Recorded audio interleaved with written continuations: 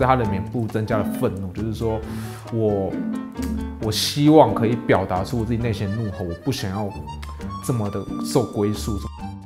我的内心其实是自由的，但是我的外表感觉很压抑，就想说把自由比喻成鸽子从我的头颅里面蹦出来这种感觉。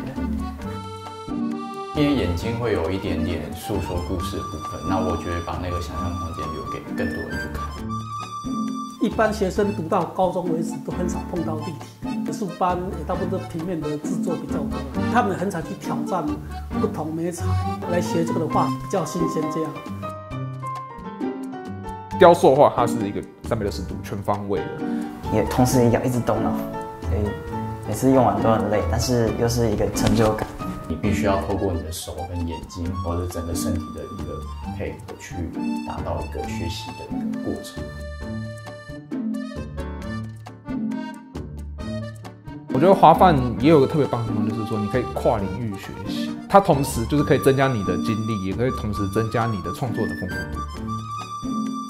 有些同学想法就是比较独特，我们就是互相交流起来。导师也给我们很大的自由的创作空间。艺术之所以这么的吸引人，就是因为啊、每个人做出来的东西都不一样。在这里其实会感受到没有那个框架存在，所以我会向大家推荐呃来就读华范美术系。